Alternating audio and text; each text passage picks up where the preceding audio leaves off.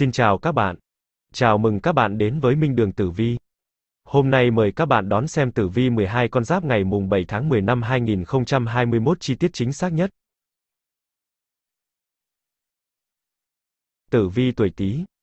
Chính ấn chiếu mệnh, người tuổi Tý phát triển tốt nếu theo đuổi con đường nghiên cứu hoặc hành chính sự nghiệp.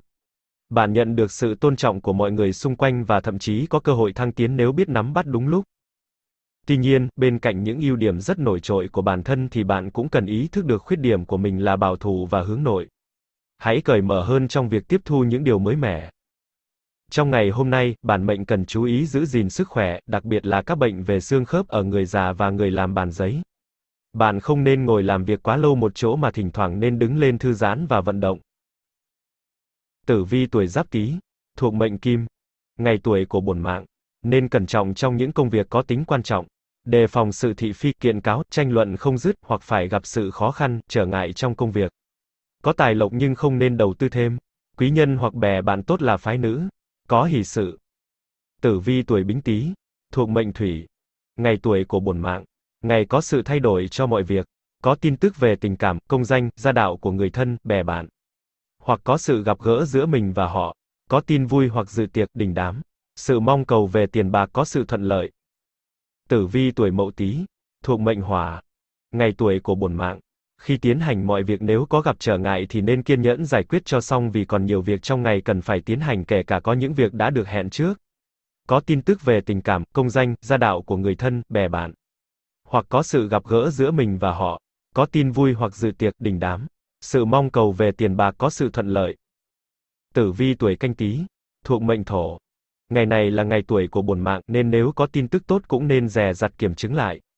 Có tài lộc, có cơ hội cho sự phát triển công việc, có quý nhân, hoặc người đỡ đầu. Tình cảm vui vẻ. Tử vi tuổi nhâm tý, thuộc mệnh mộc. Ngày tuổi của bổn mạng.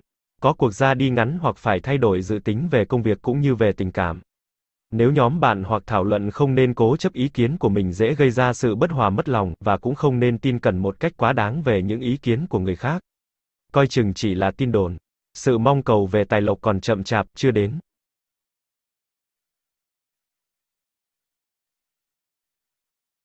Tử vi tuổi Sửu.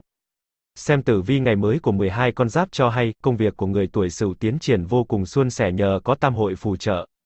Mọi người tin tưởng khi giao công việc cho bạn, bởi dù vấn đề phải đối mặt có phức tạp đến đâu, bạn vẫn có thể tìm ra phương án giải quyết hợp lý. Quan hệ xã giao hài hòa còn giúp mệnh chủ gặp được người có cùng chí hướng với mình. Hai người có thể cùng bắt tay thực hiện những dự án mới, gặt hái được những thành quả đáng ngưỡng mộ trong tương lai. Vì vậy, con giáp này hãy giữ quan hệ với người đó. Tuy nhiên, hôm nay bản mệnh cần quan tâm và trò chuyện với nửa kia của mình nhiều hơn, đừng dồn toàn bộ thời gian và sức lực cho sự nghiệp. Dù có bận rộn đến đâu, bạn nên hiểu rằng tình cảm mới là thứ đáng quý nhất.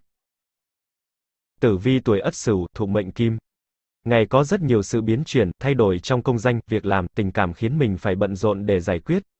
Nên có sự tham khảo ý kiến của người khác. Nhưng trong sự bàn luận cũng không nên bày vẽ thêm, chỉ đưa đến sự rắc rối, phiền lòng nhau. Có tin tức về công danh tình cảm của mình hoặc của người thân, bè bạn. Có hỷ sự. Tử vi tuổi đinh sửu, thuộc mệnh thủy. Ngày có sự đáo hạn, đến hẹn, định kỳ cho mọi công việc từ công danh cho đến tình cảm. Nên có sự kết thúc, có sự thay đổi về công việc đang làm, hoặc nhận được tin tức mới. Có tin được mời dự tiệc, hoặc có tin vui. Tài lộc vào nhanh ra nhanh nhưng không phải là xấu. Tử vi tuổi kỷ sửu, thuộc mệnh hỏa. Chuyện tiền bạc là việc rất hệ trọng, hãy đắn đo suy nghĩ trước khi tiến hành đầu tư vì có thể một thời gian dài mới có kết quả tốt. Hoặc sự việc có nhiều đổi thay khiến cho những dự tính của mình không phù hợp, phải bỏ dở, phá ngang. Ngày có sự đáo hạn, đến hẹn, định kỳ cho mọi công việc từ công danh cho đến tình cảm nên có sự kết thúc, có tin được mời dự tiệc hoặc có tin vui. Tử vi tuổi Tân Sửu, thuộc mệnh Thổ. Mọi việc có liên quan đến công danh, chức vụ, tài lộc, tình cảm đều có sự thay đổi. Nên đúng hẹn, nhà có tiệc, đình đám, có khách đến. Trong sự giao thiệp nên cẩn trọng dễ gây sự xích mích, tránh tranh cãi. Việc làm hay bị dở dang nửa chừng vì có chuyện xảy ra bất ngờ, hoặc có khách lạ đến. Tài lộc có chút ít, hoặc có lộc ăn, quà tặng. Tử vi tuổi Quý Sửu, thuộc mệnh Mộc công việc đang tiến hành hoặc có dự tính gì sẽ có sự kiện khác làm cho thay đổi. Thời cơ chưa đến, không nên tiến hành hoặc xuất đầu lộ diện. Có khách hoặc có bạn mới đề nghị công việc mới, chỉ nên ghi nhận ý kiến không nên quyết định. Tình cảm tốt.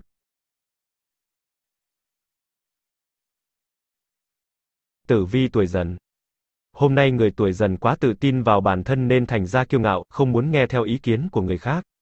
Chính vì vậy, dưới tác động của tỷ kiên, bạn dễ rơi vào cảnh tranh chấp, mâu thuẫn với đồng nghiệp, đứng một mình một chiến tuyến. Bạn cần phải hiểu rằng dù có tài giỏi đến mấy thì chắc chắn cũng có những việc mình không thể giải quyết nếu chỉ có một mình. Hãy học cách khiêm tốn và hợp tác với mọi người để cùng phát triển. Trái lại, trong chuyện tình cảm, con giáp này là người biết chăm lo cho gia đình. Bạn ý thức được rằng việc xây dựng một gia đình hạnh phúc là việc của cả hai vợ chồng, chứ không phải là trách nhiệm của riêng ai. Tử vi tuổi giáp dần, thuộc mệnh thủy.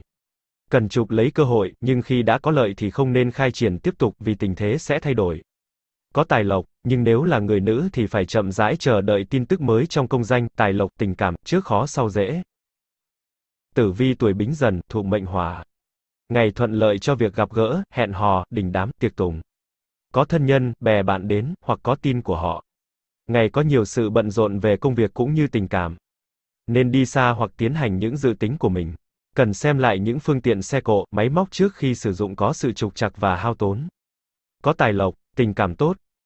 Tử vi tuổi mậu dần, thuộc mệnh thổ. Mọi việc đều có thể xảy ra dù tốt hay xấu. Không nên để mình bị lôi cuốn vào những công việc lớn lao, quyết định nhanh chóng sẽ có hại. Ngày gặp nhiều áp lực, bận rộn, lo âu, sức khỏe không tốt hoặc có tin buồn. Mọi việc đều chưa có sự kết thúc rõ ràng. Ngày mong cầu nhiều tin tức để xoay chuyển tình thế. Nếu là ngày nghỉ và không có việc gì quan trọng thì nên nghỉ ngơi. Tử vi tuổi canh dần, thuộc mệnh mộc. Mọi việc giao thiệp, gặp gỡ trong ngày khó lòng gặp kết quả như ý, hoặc chỉ là chuyện vui chơi, không có lợi. Nên di chuyển ra đi để gặp người mình mong, đừng e ngại sự va chạm. Có tài lộc, nhưng nếu là người nữ thì phải chậm rãi chờ đợi tin tức mới trong công danh, tài lộc, tình cảm, trước khó sau dễ. Cẩn trọng về sức khỏe. Tử vi tuổi nhâm dần, thuộc mệnh kim. Không nên mưu cầu toan tính làm ăn, đầu tư sẽ không có kết quả. Tình hình ở bên ngoài đã hoàn toàn đổi khác, nhận được nhiều tin tức trái ngược nhau đưa đến bán tín bán nghi. Không nên di chuyển, đi không lại về không. Nói chung là nên ngồi yên, để mọi việc xảy ra tự nhiên. Hao tài về xe cộ, máy móc, di chuyển. Dù có tiền cũng phải hao tốn hoặc phải hoàn trả các dịch vụ đáo hạn, các việc đã có sự hẹn ước.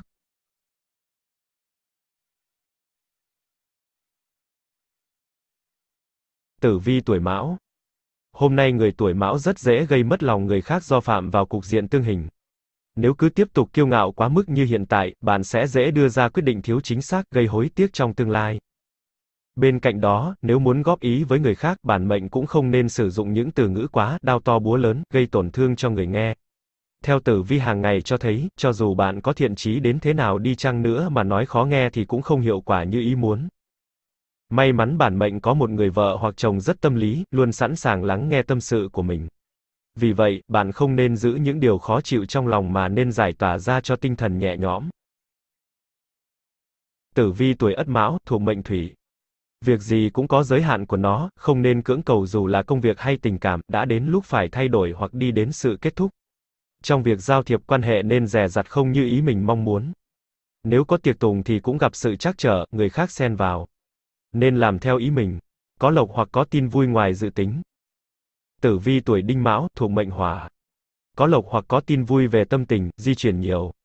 Tin tức tốt, có sự gặp gỡ thân nhân, bè bạn hoặc nhà có đám tiệc. Ngày có nhiều sự bận rộn về chuyện làm ăn hay tình cảm.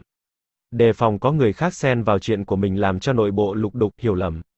Tài lộc dễ hao, nếu có của hoạnh tài, phần lớn là được ăn uống, quà tặng. Tử vi tuổi kỷ mão, thuộc mệnh thổ. Có cuộc đi ngắn, hoặc nhận được tin. Có lộc hoặc có tin vui về tâm tình, di chuyển nhiều. Tin tức tốt, có sự gặp gỡ thân nhân, bè bạn hoặc nhà có đám tiệc. Ngày có nhiều sự bận rộn về chuyện làm ăn hay tình cảm. Tài lộc dễ hao, nếu có của hoạnh tài, phần lớn là được ăn uống, quà tặng. Tử vi tuổi Tân Mão, thuộc mệnh Mộc.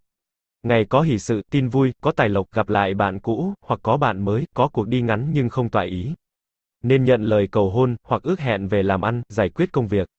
Giao thiệp với người khác phái có lợi. Hãy để mọi sự việc xảy ra tự nhiên sẽ có kết quả tốt. Tử vi tuổi Quý Mão, thuộc mệnh Kim. Nên kết bạn hoặc nhập trường, lập hôn thú, hẹn ước. Có hỷ sự, có tài lộc. Nếu có người đề nghị công việc thì nên chấp thuận, đừng do dự kẻo mất cơ hội. Ngày chỉ tốt cho việc lập giấy tờ, nhắn tin, nhận tin chứ không phải là hành động.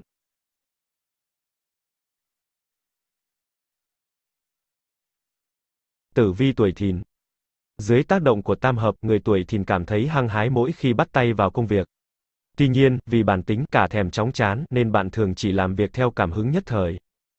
Muốn thành công thì một khi đã quyết tâm làm bất cứ việc gì, bạn nên cố gắng kiên trì đến cùng. Còn nếu luôn bỏ dở giữa chừng, bạn sẽ chẳng bao giờ được lãnh đạo tin tưởng cũng như nhận được sự đánh giá cao của người khác. Trong ngày xuất hiện những bất ổn trong mối quan hệ giữa con giáp này và nửa kia.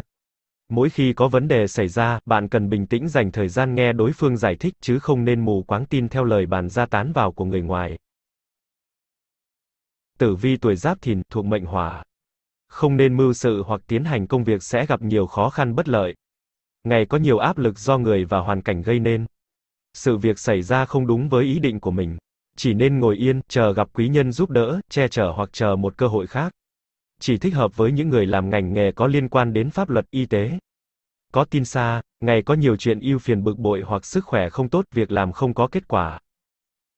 Tử vi tuổi Bính Thìn, thụ mệnh thổ.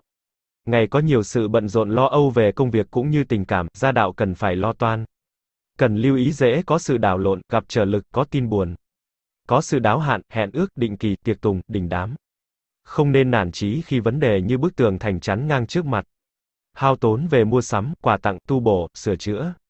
Có tin xa, có khách đến. Tử vi tuổi mậu thìn, thuộc mệnh mộc. Có sự đáo hạn, hẹn ước, định kỳ, đám tiệc. Có tin xa, có khách đến. Không nên nản chí khi vấn đề như bức tường thành chắn ngang trước mặt. Ngày có nhiều sự bận rộn lo âu về công việc cũng như tình cảm, gia đạo cần phải lo toan. Cần lưu ý dễ có sự đảo lộn, gặp trở lực, có tin buồn. Hao tốn về mua sắm, quà tặng, tu bổ, sửa chữa. Tử vi tuổi canh thìn, thuộc mệnh kim. Mọi sự sẽ trở nên dễ dàng, tuy làm ăn được nhưng đề phòng đau ốm cho mình hoặc thân nhân. Có quý nhân giúp đỡ nếu được lời đề nghị tiến dẫn. Ngày có sự mua sắm, tu bổ đồ đạc. Có sự di chuyển, đi xa, thay đổi phương hướng làm ăn. Hãy mạnh dạn đến gặp người đã có sự giao ước với mình ở quá khứ dù chỉ là sơ giao. Có tài lộc. Tử vi tuổi nhâm thìn, thuộc mệnh thủy.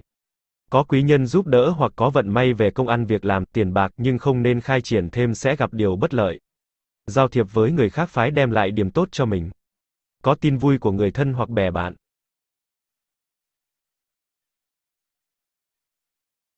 Tử vi tuổi Tỵ thực thần phù trợ cho người tuổi tỵ, để những ai làm nghề tự do có thể nhận được một phần thưởng xứng đáng với công sức mình đã bỏ ra.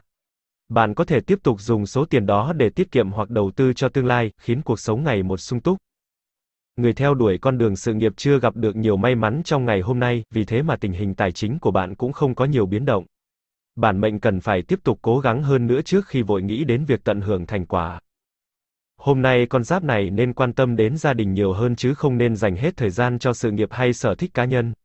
Tiền bạc là vật ngoài thân, mất rồi có thể kiếm lại, nhưng một khi tình cảm đã phai nhạt thì khó có thể bù đắp. Tử vi tuổi Ất Tỵ thuộc mệnh Hỏa. Vận mạng, gia đạo hanh thông và hòa thuận, hoặc nhà có tin vui, tiệc tùng, đình đám, có khách đến.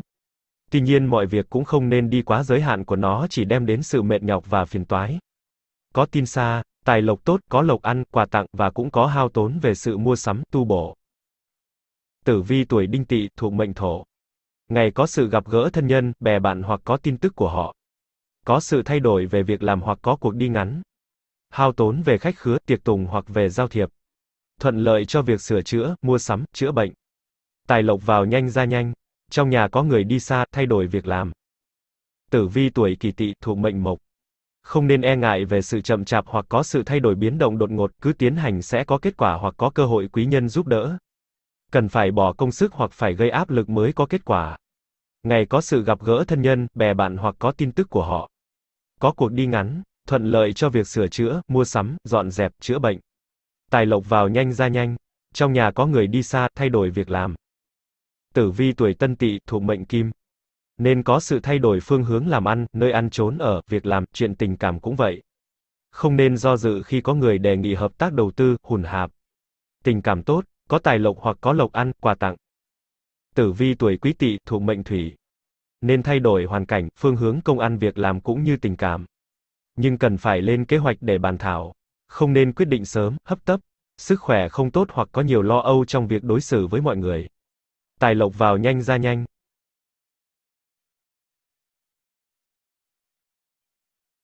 Tử vi tuổi ngọ. Hôm nay người tuổi ngọ chịu tác động của cục diện tí ngọ tương xung nên trở thành một người rất nóng nảy. Mỗi khi gặp mâu thuẫn, bạn thường hay nói hoặc thực hiện hành động gây ác cảm với mọi người xung quanh. Trong các mối quan hệ xã giao, bản mệnh có thể nhận thấy có rất nhiều đối tượng khác giới vây quanh mình. Tuy vậy, bạn vẫn nên giữ khoảng cách cần thiết với họ, bởi dường như mọi người đều tiếp xúc bạn với mục đích riêng. Xem ngày tốt xấu theo trực, hôm nay trực bình là ngày tốt để thực hiện mọi công việc. Vì vậy, nếu đã lên kế hoạch làm gì thì bạn có thể cân nhắc để thực hiện ngay, sẽ gặp nhiều thuận lợi. Tử vi tuổi giáp ngọ, thủ mệnh kim. Ngày sung của bổn mạng.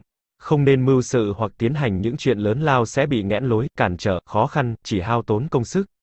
Tài lộc có bao nhiêu thì tốt bấy nhiêu, nên chi dụng vào những việc cần thiết. Bớt một chuyện tốt hơn là thêm một chuyện. Tránh chuyện thị phi tranh cãi, nên nhường nhịn. Sức khỏe không tốt, có tin buồn. Tử vi tuổi bính ngọ, thuộc mệnh thủy. Ngày sung của bổn mạng. Nếu có mưu sự về công việc gì thì đều phải có trở ngại trước hoặc có sự thiệt thòi, hy sinh mới có kết quả. Hoặc có thể không nên tiến hành để vào một ngày khác. Nên cẩn trọng trong sự đi lại. Có người bất đồng ý kiến với mình. Tuy nhiên vẫn có tin tức tốt ở xa hoặc gặp thân nhân, bè bạn đến giúp đỡ, dự tiệc. Tử vi tuổi mậu ngọ, thuộc mệnh hỏa. Ngày sung của bổn mạng. Có người bất đồng ý kiến với mình. Nếu có mưu sự về công việc gì thì đều phải có trở ngại trước hoặc có sự thiệt thòi, hy sinh mới có kết quả. Hoặc có thể không nên tiến hành mà hãy để vào một ngày khác. Nên cẩn trọng trong sự đi lại, di chuyển. Tuy nhiên vẫn có tin tức tốt ở xa hoặc gặp thân nhân, bè bạn đến giúp đỡ, dự tiệc. Hao tài về mua sắm, quà cáp. Tử vi tuổi canh ngọ, thuộc mệnh thổ. Ngày sung của bổn mạng. Tránh chuyện thị phi tranh cãi, nên hòa hoãn, nhường nhịn. Sức khỏe không tốt, có tin buồn, không nên mưu sự hoặc tiến hành những chuyện lớn lao sẽ bị nghẽn lối, cản trở, gặp khó khăn, chỉ hao tốn công sức. Tài lộc có bao nhiêu thì tốt bấy nhiêu, nên chi dụng vào những việc cần thiết. Tử vi tuổi nhâm ngọ, thuộc mệnh mộc. Ngày sung của bổn mạng. Công việc có nhiều khúc mắc bề bộn nhưng không nên hấp tấp hoặc gia đình nhận được nhiều tin tức tốt xấu lẫn lộn ảnh hưởng đến mọi người. Cẩn trọng về đi lại, sử dụng phương tiện về xe cộ máy móc. Sự chờ đợi về tiền bạc hoặc công danh gặp trở ngại, chậm chạp tình cảm và sức khỏe không tốt.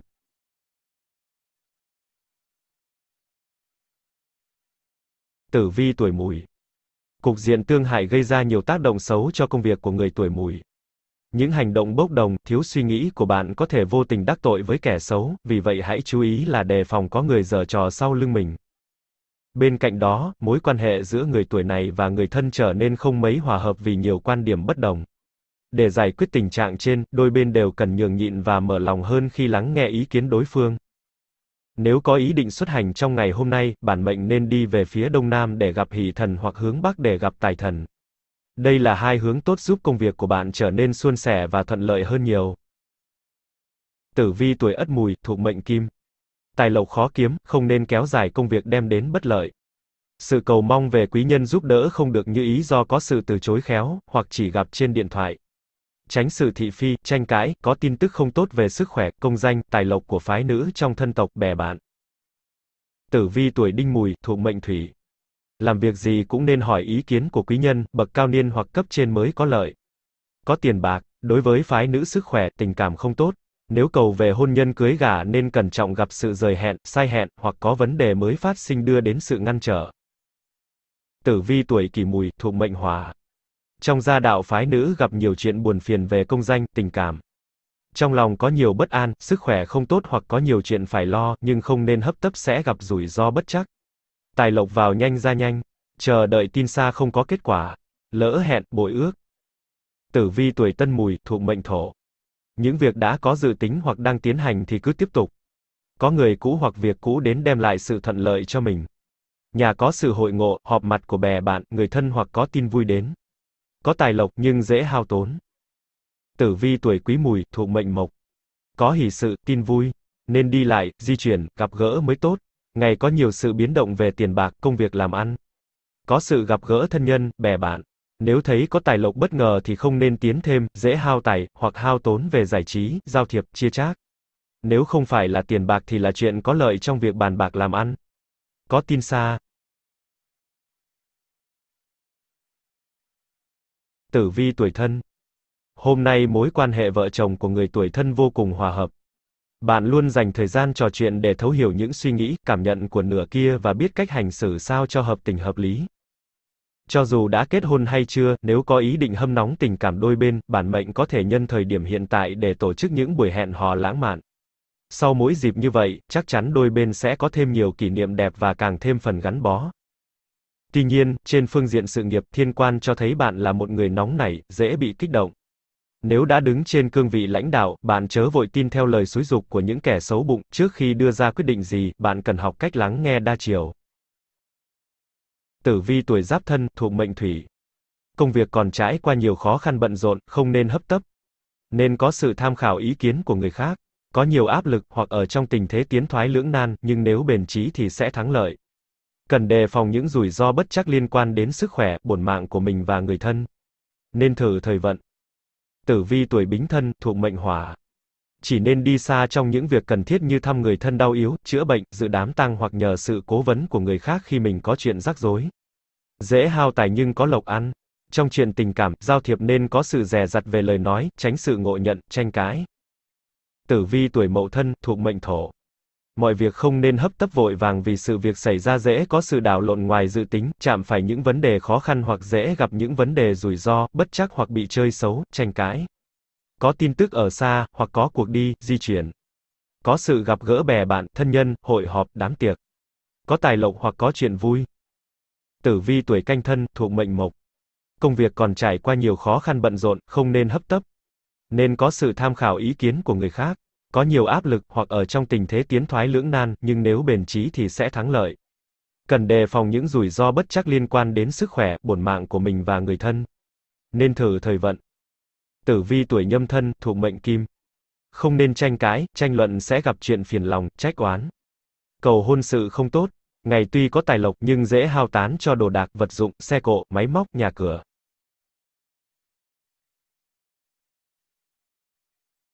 Tử vi tuổi dậu.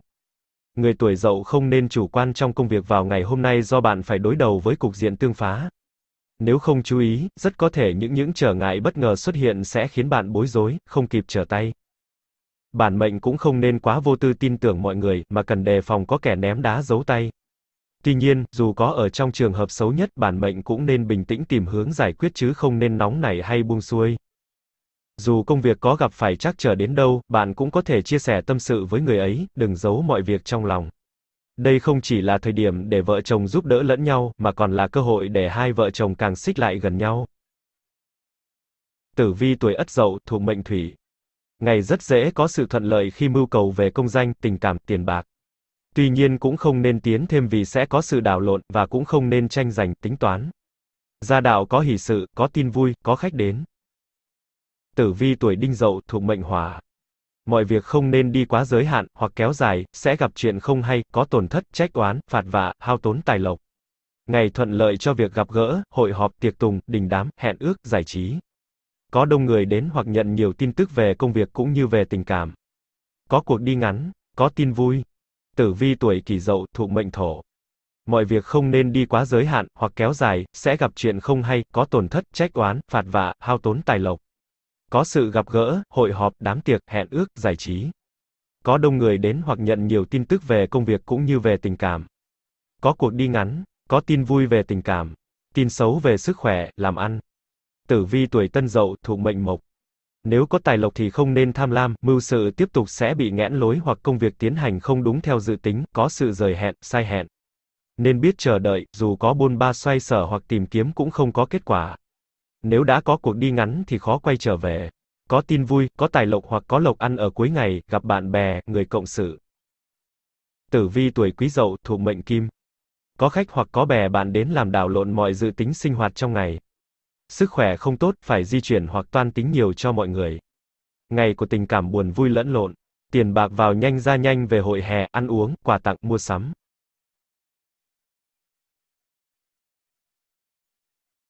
Tử vi tuổi Tuất. Mối quan hệ xã giao của người tuổi Tuất không được tốt đẹp ngày hôm nay. Có nhiều kẻ giả tạo, nịnh bợ đang cố gắng tiếp cận bạn để kiếm lợi ích cho mình. Để tránh xa rắc rối, bạn chớ nên tin theo lời nịnh nọt, hãy ý thức mình đang đứng ở đâu. Bạn cũng cần quan tâm hơn đến gia đình của mình và lắng nghe suy nghĩ của nửa kia. Không nên áp đặt những suy nghĩ của mình bắt người khác phải nghe theo, bởi chưa chắc những quan điểm của bạn đã là đúng đắn. May mắn, phương diện tài lộc của bản mệnh lại có nhiều điểm sáng. Thiên tài cho thấy một số người còn có cơ hội giàu lên nhanh chóng dựa vào vận may. Tuy nhiên, bạn vẫn cần phải xác định rằng mình không nên quá dựa dẫm vào số tiền từ trên trời rơi xuống. Tử vi tuổi giáp tất thuộc mệnh hỏa. Ngày có nhiều sự thay đổi, biến động, công việc, tin tức đến dồn dập. Nên cẩn thận trong mọi hành động, chỉ sai lầm một chút sẽ đem đến hậu quả không tốt. Không nên sợ những áp lực từ bên ngoài, cần phải nhẫn nại. Ngày thuận lợi cho việc thay đổi, sửa chữa, tu bổ, di chuyển, đi xa. Giao thiệp với người khác phái có lợi. Có tin tức tốt về công danh, tình cảm của người nữ đem lại niềm vui hay điều lợi cho mình. Tử vi tuổi bính tuất thuộc mệnh thổ. Có nhiều sự xoay chuyển, thay đổi bất ngờ, hoặc ngày gặp nhiều áp lực về công việc, hoàn cảnh gây ra. Mọi việc tiến hành đều phải có sự cẩn trọng và kiên nhẫn. Không nên hành động mà bị vướng mắc. Có tin xa, gặp lại người xưa, chuyện cũ. Sự mong cầu về tài lộc, tiền bạc có tính bất ngờ nếu không so đo, tính toán. Tử vi tuổi mậu tuất thuộc mệnh mộc. Có nhiều sự xoay chuyển, thay đổi bất ngờ, hoặc ngày gặp nhiều áp lực về công việc, hoàn cảnh gây ra. Mọi việc tiến hành đều phải có sự cẩn trọng và kiên nhẫn. Nên suy nghĩ kỹ trước khi hành động, dễ bị vướng mắc, lôi thôi. Có tin xa, gặp lại người xưa, chuyện cũ. Sự mong cầu về tài lộc có tính bất ngờ nếu không so đo, tính toán. Tử vi tuổi canh tuất thuộc mệnh kim. Mưu sự những việc lớn lao gặp nhiều bất lợi, không nên hấp tấp tiến hành hoặc quyết định nhanh chóng. Sự mong cầu về tài lộc có sự sai hẹn, chậm chạp. Sức khỏe không được tốt, có tin buồn của thân nhân. Cẩn trọng khi đi đường, gặp rủi ro về xe cộ máy móc hoặc hao tốn trong việc sửa chữa, đi lại, đám tiệc. Tử vi tuổi nhâm tuất thuộc mệnh thủy. Cần đề phòng kẻ tiểu nhân chiếm lấy cơ hội hoặc địa vị của mình đang có. Tránh mọi tranh giành có liên quan đến tình cảm, nhân nghĩa. Sự mong cầu về tiền bạc luôn chậm chạp, nếu có cũng không được hưởng hoặc phải chi dụng vào những việc cần thiết. Sức khỏe không tốt, đề phòng rủi ro trong sự tính toán, di chuyển. Tử vi tuổi hợi Tam hội nâng đỡ, người tuổi hợi với bản tính thật thà, tốt bụng sẽ dễ dàng xây dựng được các mối quan hệ xã giao hài hòa. Vốn là con giáp dễ gần, bạn nhận được nhiều sự cổ vũ, động viên, chia sẻ của người khác nếu phải đối mặt với khó khăn. Bản mệnh còn có cơ hội gặp gỡ được quý nhân trong ngày hôm nay. Quý nhân sẽ đưa ra cho bạn chỉ dẫn hợp lý về con đường tương lai mông lung trước mắt, đồng thời có phương án giải quyết vấn đề hiện tại. Tuy nhiên, con giáp này cần phải chú ý hơn đến tình hình sức khỏe của mình. Không nên lơ là những dấu hiệu cảnh báo của cơ thể chỉ vì công việc quá bận rộn. Tập thể dục, thể thao là cách rất tốt để tăng cường sức khỏe. Tử vi tuổi Ất Hợi thuộc mệnh Hỏa. Mọi sự chờ đợi đã qua nay đã đến lúc thay đổi hoặc bắt tay vào công việc. Ngày có nhiều chuyện tình cảm tốt, có tin vui, hỷ sự, tài lộc tốt, thuận lợi cho việc hợp tác, hùn hạp, đi xa. Tử vi tuổi đinh hợi, thuộc mệnh thổ. Ngày có nhiều biến động hoặc thay đổi do đã có dự tính trước hoặc có sự thay đổi, gặp gỡ bất ngờ. Nếu công việc đang được tiến hành sẽ có sự bỏ dở hoặc phá ngang do có khách đến hoặc có tin tức khác làm đảo lộn công việc. Ngày của sự đáo hạn, đến hẹn nhưng cũng gặp trắc trở chút ít. Có tin vui hoặc có sự gặp gỡ thân nhân, bè bạn. Tài lộc vào nhanh ra nhanh, có lộc ăn, quà tặng. Tử vi tuổi kỷ hợi, thuộc mệnh mộc. Ngày gặp chắc chờ chút ít, có nhiều biến động hoặc thay đổi do đã có dự tính trước hoặc có sự thay đổi, gặp gỡ bất ngờ. Nếu công việc đang được tiến hành sẽ có sự bỏ dở hoặc phá ngang do có khách đến hoặc có tin tức khác làm đảo lộn công việc. Có tin vui hoặc có sự gặp gỡ thân nhân, bè bạn. Tài lộc vào nhanh ra nhanh, có lộc ăn, quà tặng.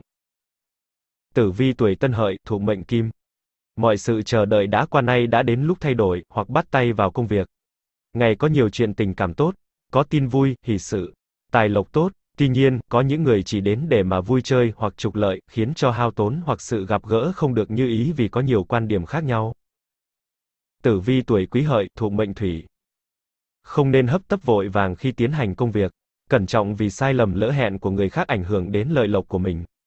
Sự mong cầu về tiền bạc không được như ý, hoặc có sự dây dưa thêm bớt.